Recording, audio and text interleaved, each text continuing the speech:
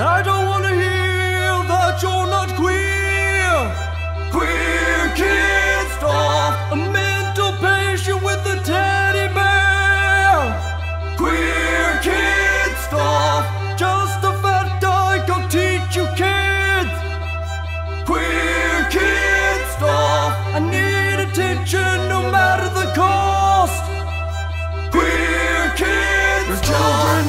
But now that they're open, I'll show them how to love. Some would call it abuse, making children confused, but we call it